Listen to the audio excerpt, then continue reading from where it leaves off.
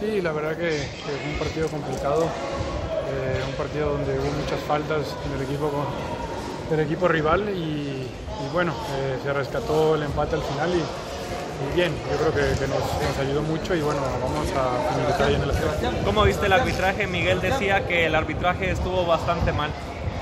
Y es algo que no, no, no sirve hablar. Eh, la verdad que ahí hubo una patada a Ibarwen que, que creo que es roja y hay un penal, pero, pero bueno, fue para los dos lados y, y ya lo que toca es, es hacerlo bien en la cancha. Oscar, ¿le sorprendió comunicaciones esta noche?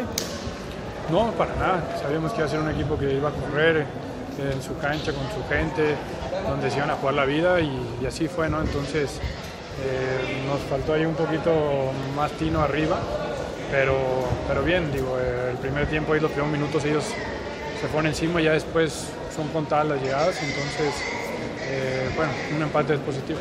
Y no es un empate que toque el orgullo del América, teniendo en cuenta lo que hablaba ayer Miguel de que todos los partidos hay que ganarlos para el conjunto de las Águilas. Por eso digo, eh, lo importante es la llave, entonces vamos a ir a la Azteca con nuestra gente y vamos a ganar bien. Oscar, poco que hacer en la jugada del gol.